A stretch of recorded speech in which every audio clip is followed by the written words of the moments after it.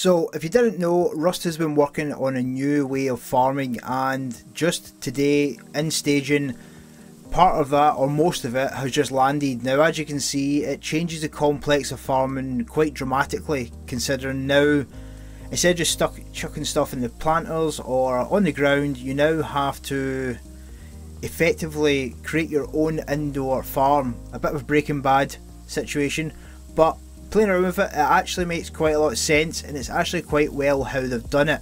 Now this is the first look just to show you how it is just now. Some of this may change. Pretty sure one thing will change which I'm not going to show just now because I'm pretty sure it is 100% going to.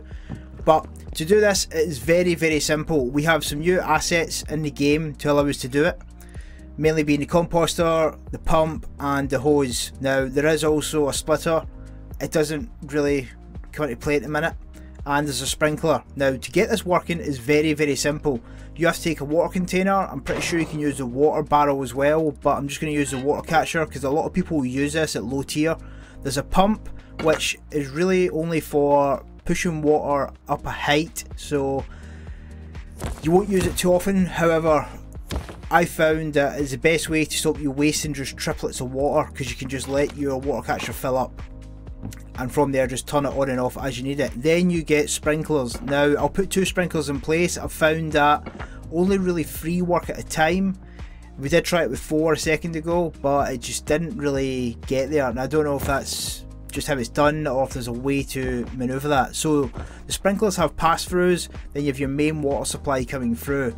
Take that from your sprinklers and put it into the other end of your pump. Now this pump is going to act more of a valve I'll power it up just to show that it can be powered. As I said, that will be mainly so it takes water up a, a distance. So if you want to have your water catcher ground level and have your planters on your roof so they get direct sunlight because you'll need sunlight or some sort of light for it to work for your plants to actually grow. Now just to mention there's also potatoes in here so I'm actually going to use potato seeds. Power it up and as soon as you power it up just be aware that it will turn your valve on straight away. Just turn it back off.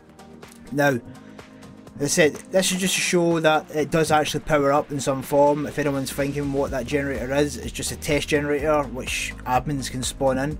So I'll take this off now and just show it as a normal valve because that's all you're really going to use it for. I can't see a lot of people power up unless you are a hardcore farmer. Now to fill this up, you just have to click on your water catch, your water barrel, fill up the catcher. Then from there, we'll just turn on the valve now, as you can hear straight away, water is coming from it and it just sprays down on top of the planters or any sort of ground that you're going to actually plant the seeds. Turn these back off, you see water stops straight away. Now, I'll put one planter down just to show how it works. Drop it down. I'll also put the potato seeds in there. Now, it's very interesting how these come together as well. There's a lot of complexity I think to make sure you get the right strand a bit like hemp was before. Now I'll show you the UI for it.